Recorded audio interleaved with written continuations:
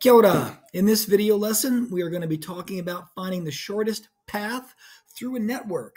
So after completing this, you'll be able to define what a weighted network is and identify the shortest path between two vertices. And you're going to be able to justify your answer with Dijkstra's algorithm and the weights of a network's edges. And the justification will be needed for higher levels of achievement.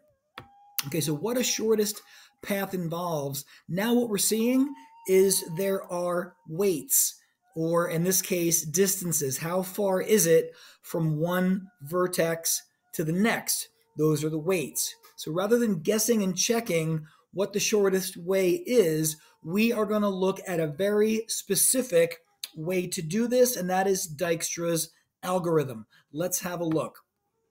So here's what's going to happen. If you have more than one, uh, when you go from one node to another, what you're going to do is the following. So from A to B has a distance of 2, and this 2A is telling us it was a distance of 2 and we came from A. On this side, A to C, it was 4 and I came from A. Now, if two different arcs go to the same node, you will follow that. 2 and 5 is 7b because I came from B. From C to D, it was 4 and another 4. So 8 from C, but I cross out the longest one because I want the shortest path. That's how we're going to be doing this. Okay, so if two edges visit the same vertex, that will get two markings. When this happens, we pick the marking with the least weight and ignore the other. For example, in the following network, there are two edges leading to D, one from B and one from C. 2 and 5 gives us 7 from B, hence the 7B and the 8C. 4 and another 4 give us 8, and you only want to keep the shortest one because we're trying to find the shortest path. Okay? So for this one, we're going from A to B with a distance of 3. So we would have a 3A right there, letting us know that was a distance of 3. B to C, it's already been 3 plus another 4 gives us 7, and I came from B.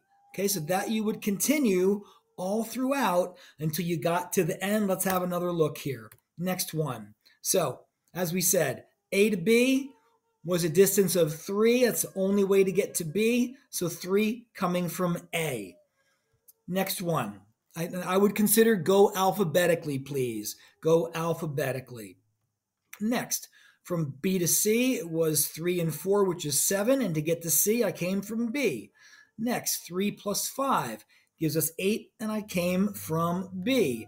Going along with that, after C, there's D. 3 and 5, 8 from B.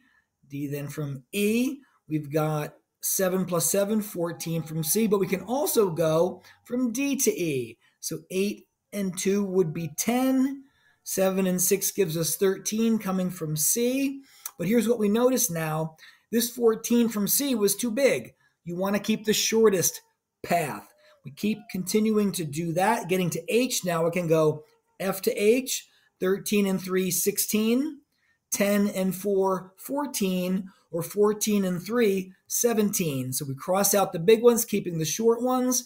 And now we know the shortest path, finishing at H, came from E, so back to E, then to D, back to D, back to B, and back to A. There is our shortest path, and always a good idea to add those up so we can see the shortest path. Okay? So the shortest path was A, B, D, E, H. And by adding all those up, we had a distance of 14. All right. There's a nice introduction to finding the shortest path. We're going to do some more of those in class. Thanks for listening. Please send any pātai my way. Mauri mahi, mauri ora, ka kite ano.